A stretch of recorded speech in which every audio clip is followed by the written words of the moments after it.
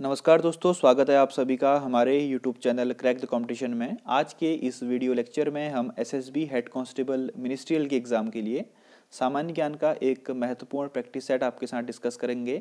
दोस्तों SSB head constable की exam date release हो चुकी है। आपका एग्ज़ाम तीन जनवरी दो हज़ार इक्कीस को कंडक्ट किया जाएगा। सभी क्वेश्चन आपको हिंदी और इंग्लिश दोनों लैंग्वेज में अपियर होंगे। और इनकी पीडीएफ के लिए आप हमारे टेलीग्राम ग्रुप को ज्वाइन कर सकते हैं, जिसका लिंक डिस्क्रिप्शन बॉक्स में दिया हुआ है। दोस्तों, इस वीडियो में स्टैटिक जीके के साथ साथ करंट अफेयर्स भी प्रोवाइड कराई जाएगी। इसीलिए वीडियो में तक बने रहिए। शुरू करते हैं आज का पहला प्रश्न। तो आज का पहला प्रश्न है, Purna Swaraj was demanded in which Congress session तो कांग्रेस के किस अधिवेशन में पूर्ण स्वराज्य की मांग की गई थी? तो इसका आंसर है, लाहौर सेशन या फिर लाहौर अधिवेशन जो कि 19 दिसंबर उन्नीस को आयोजित किया गया था। ठीक है? लाहौर अधिवेशन कब हुआ था? 19 दिसंबर उन्नीस को और इसी अधिवेशन में पूर्ण स्वराज्य की मांग की गई थी और इस अधिवेशन की अध्यक्षता की थी पंडित जवाहरलाल नेहरू ने। अगला प्रश्न है। Who of the following is considered as the father of green revolution in world तो विश्व में हरित क्रांति का जनक किसे कहा जाता है? तो इसका आंसर है डॉक्टर नॉर्मन बोरलोक। तो दोस्तों, पूरे वर्ल्ड में डॉक्टर नॉर्मन बोरलोक को हरित क्रांति का जनक कहा जाता है। यह एक अमेरिकन एग्रोनोमिस्ट कृषि वैज्ञानिक थे। बात आती है भारत की। तो भारत के कॉन्टेक्स्ट में फादर ऑफ़ ग्रीन रिवोल्यूशन किसे कहा जाता है? डॉक्टर एम एस स्वामीनाथन को, ठीक है?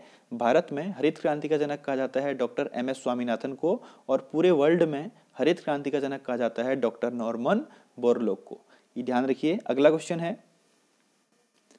When was the civil disobedience movement started by Mahatma Gandhi? तो महात्मा गांधी द्वारा सविनय अवज्ञा आंदोलन कब शुरू किया गया था? तो 12 मार्च 1930 को। ऑप्शन नंबर सी इसका राइट आंसर है। 12 मार्च 1930 को महात्मा गांधी जी द्वारा सविनय अवज्ञा आंदोलन शुरू किया गया था नमक कानून को तोड़कर, और इसे दांडी मार्च भी कहा जाता है। ठीक है? ऑप्शन नंबर सी इसका राइट आंसर है, March 1930 who was the author of Humayun Nama तो हुमायूं नामा के लेखक कौन थे? तो मुगल बादशाह हुमायूं की जो बायोग्राफी थी, उसे हुमायूं नामा कहा जाता है।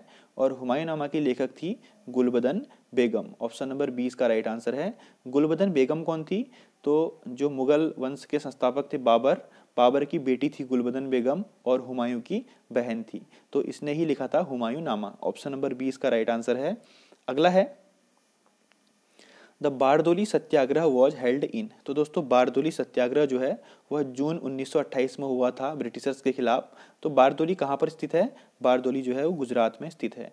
ऑप्शन नंबर सी इसका राइट आंसर है। बारदोली कहाँ स्थित है? गुजरात में स्थित है। और यह सिविल डिसोबीडियंस मूवमेंट की एक स्टार्टिंग थी। ठीक है, यहीं से सिविल डिसोबीडियंस मूवमेंट जो है, वो स्टार्ट हुआ था। किस, किसने इसका नेतृत्व किया था? महात्मा गांधी ने। ठीक? Next why the earth is having its own atmosphere पृथ्वी का अपना वायुमंडल किसके कारण होता है? तो इसका आंसर है दोस्तों ड्यू टू ग्रेविटी गुरुत्वाकर्षण के कारण जो है, पृथ्वी का अपना वायुमंडल होता है। ऑप्शन नंबर सी इसका राइट आंसर है, गुरुत्वाकर्षण। नेक्स्ट है the Harappan civilisation was discovered in which year तो हड़प्पा सभ्यता या फिर हड़प्पा संस्कृति की खोज किस वर्ष हुई थी? तो इसका आंसर है 1921 में। हड़प्पा सभ्यता की खोज कब हुई थी दोस्तों? 1921 में हुई थी। Sir John Marshall, Rai Bahadur, Dayaram Sahni और माधव स्वरूप वत्स द्वारा इसकी खोज की गई थी। तो इनका नाम आप याद रखिएगा। अगला है, the Kuka movement started in the mid nineteen century. तो 19वीं सदी के मध्य में कुका आंदोलन जो है वो कहाँ शुरू हुआ था? दोस्तों एक कुका आंदोलन क्या था? यह एक सिख रिलीजियस मूवमेंट था ठीक है? इसको कि नामधारी मूवमेंट भी कहा जाता है ठीक? सिखों का एक धार्मिक आंदोलन था और यह वेस्टर्न पंजाब में हुआ था ठीक है ना? 1840 के आसपास वेस्टर्न पंजाब में इसको आ, किया गया था। तो ऑप्शन नंबर ए इसका राइट आंसर है। इस प्रकार के क्वेश्चन भी एग्ज़ाम में पूछे जाते हैं ठीक है? अगला है who is the present chairman of UPSC संघ लोक सेवा आयोग के वर्तमान अध्यक्ष कौन है? तो इसका आंसर है प्रदीप कुमार जोशी या फिर पी के जोशी। यूपीएससी के प्रेजेंट चेयरमैन हैं। दोस्तों, यूपीएससी के जो चेयरमैन हैं, उनका टेन्योर होता है छः साल या फिर उनकी एज होती है सिक्सटी फाइव ईयर्स। जो भी पहले हो जाए, तभी रिटायर हो जाते हैं। और जो यूपीएससी है, वह संविधान के आर्टिकल 315 के अनुसार इसकी स्थापना की गई थी, आर्टिकल 315 के अनुसार। और जो मेंबर का अपॉइंटमेंट होता है ना, जो इसके ऑफ़िस के मेंबर के अपॉइंटमेंट होते हैं, वो होता है आर्टिकल 316 के तहत। ये भी ध्यान रखिएगा, ठीक है? ऐसे क्वेश्चन आपके एग्ज़ाम में पूछे जा सकते हैं। Next overdraft saving the Indian saver book written by तो ओवरड्राफ्ट नाम की पुस्तक किसने लिखी थी? यह काफ़ी चर्चित पुस्तक है 2020 की। आपके एग्ज़ाम में पूछी जा सकती है। तो overdraft saving the Indian saver जो बुक लिखी है, वो लिखी है डॉक्टर उर्जित आर पटेल ने। अब उर्जित पटेल का नाम आपने ज़रूर सुना होगा। यह आरबीआई के ट्वेंटी गवर्नर थे, ठीक है? इन्होंने इस्तीफा दे दिया था। अभी कौन कौन है गवर्नर? ट्वेंटी फिफ्थ गवर्नर हैं आरबीआई के शक्तिकांत दास। ठीक है? इनका नाम भी याद रखेंगे। और दोस्तों, एक और चर्चित पुस्तक है, थर्ड पिलर। Third pillar. तो थर्ड पिलर नाम की बुक किसने लिखी? आरबीआई के पूर्व गवर्नर रघुराम राजन के द्वारा। इतनी बात आप यहाँ से याद रखेंगे। बढ़ते हैं अगले प्रश्न की ओर। अगला प्रश्न है who amongst the following also had the rename Devanama Piyadasi? तो किस का नाम देवनामा पियादासी भी था या उपनाम कह सकते हैं। दोस्तों, जो देवनामा पियादासी है ना, ये पाली लैंग्वेज में लिखा गया है। मौर्यन किंग अशोक का नाम था देवनामा पियादासी। इसका अर्थ होता है गुड लुकिंग यानी कि अच्छा दिखने वाला। हालाँकि ये पाली भाषा में है। इसका जो नॉर्मल होती है, वो ट्रांसलेशन वो होता है गुड लुकिंग चार्मिंग ठीक है?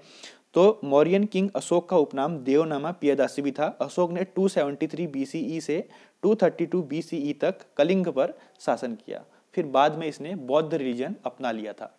अगला क्वेश्चन है। Ganga Sagar mela fair is held in which state?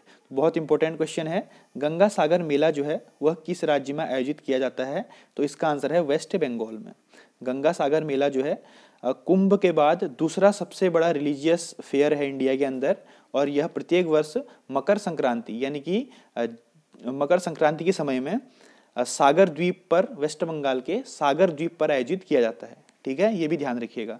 तो ऑप्शन नंबर सी इसका राइट आंसर है। वेस्ट बंगाल की चीफ मिनिस्टर है ममता बनर्जी, और यहाँ के जो गवर्नर हैं वह है जगदीप धनखड़, और यहाँ की कैपिटल है कोलकाता। अगला क्वेश्चन है which from the following rivers does not originate in Indian territory तो निम्नलिखित नदियों में से किस नदी का उद्गम स्थल भारतीय क्षेत्र से नहीं है? तो घाघरा जो रिवर है दोस्तों, इसका उद्गम स्थल इंडिया से नहीं है यह तिब्बत के वेस्टर्न स्लोप से निकलती है। तो option number D Ghaghara river इसका राइट आंसर हो जाएगा, ठीक है? नेक्स्ट है national technology day celebrated across India on which date to memorise the anniversary of Shakti the Pokhran nuclear test तो पोखरन में जो हमने न्यूक्लियर टेस्ट किया था, परमाणु परीक्षण किया था, उसका नाम था शक्ति उस परीक्षण का नाम क्या था? शक्ति तो उसकी सालगिरह को याद रखने के लिए हम नेशनल टेक्नोलॉजी डे कब मनाते हैं प्रत्येक वर्ष? 11 मई को। क्वेश्चन थोड़ा घुमा फिरा के पूछा गया है। सिंपल सी बात है कि राष्ट्रीय प्रौद्योगिकी दिवस या फिर नेशनल टेक्नोलॉजी डे हम कब मनाते हैं? ग्यारह मई को। इस दिन हमने क्या किया था? राजस्थान के पोखरण में हमने न्यूक्लियर टेस्ट किया था दोस्तों, ठीक है?